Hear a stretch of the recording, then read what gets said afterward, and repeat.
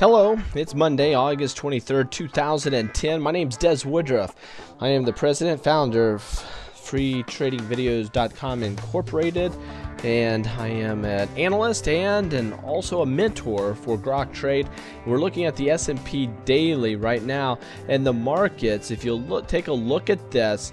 Um, the market started off very strong this morning. We were up by 70 points, 80 points, something like that. Um, I think knocking at the door 70 points on the Dow.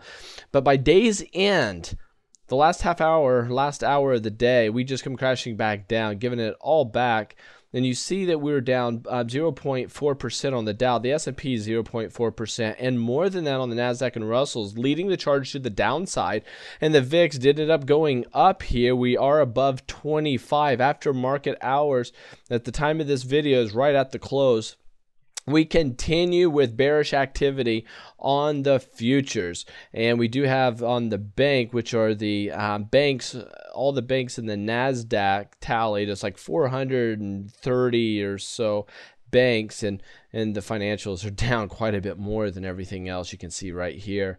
So keep an eye on that. Here we are looking at the daily chart. I have a lot of lines on here. So let's pay special attention to what's taking place we have this big triangle, this pinching pattern it's coming into fruition and it's developing a um, strength and power.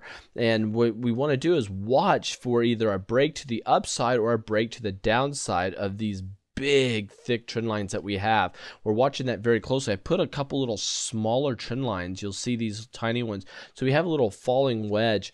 So in this case, if we come down, it wouldn't surprise me to see us come down, test some of this area and find major support right here in the next day or two, and then I could see us bouncing back up. But what we're watching for is a break below and a significant close below this trend line.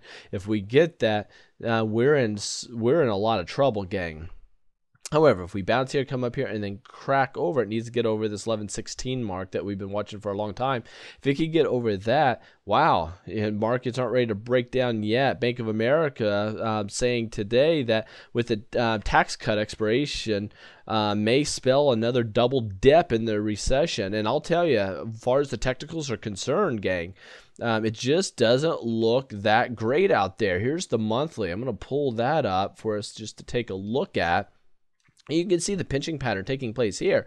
On this green candlestick, we should have went up here and tagged this. We didn't. So far for the month, we made a higher high and higher low, but we're not. We didn't get up there to this level. That level should have put us somewhere around this 1150 mark, but we haven't got up there. So um, that's showing some relative weakness as far as the monthly is concerned. If we crack down here, like I said, whoa, uh, that could be nasty and bad. But here's the weekly. Here's the weekly looking at the S&P.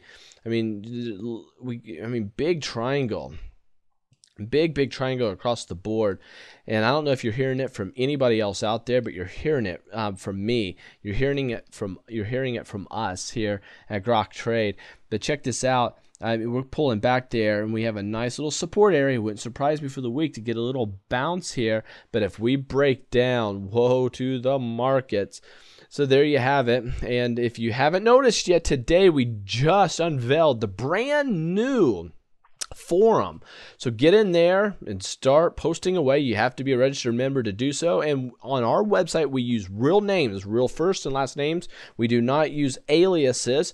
So if you're not comfortable with that, don't register and you can um, participate by lurking and just read and do whatever. But if you want to be a participant, uh, we, we just ask that you come in and be part of the community and, um, and enjoy yourself and uh, start posting in there and you're going to get a lot of people reading your um, posts so um, and we're looking for a lot of activity. The other website freetradingvideos.com that forum will be coming in next. It will be read only. No um, is not and you can search through that but you're not going to be able to post to that one anymore. So any threads that you had going over there just get them started in the new one. So thank you. Take care. Safe trading to each and every one of you